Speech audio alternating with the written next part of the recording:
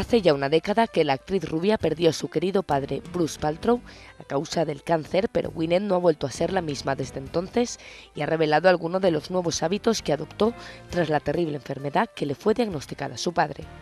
La actriz cambió su dieta por completo y se puso muy seria con la práctica de ejercicio y con la exposición a las toxinas. Estas declaraciones las ha realizado a la revista People durante los momentos previos al Stand Up to Cancer, un telemaratón solitario que tuvo lugar el pasado viernes en Los Ángeles y en el que la actriz participó junto a una larga lista de caras conocidas.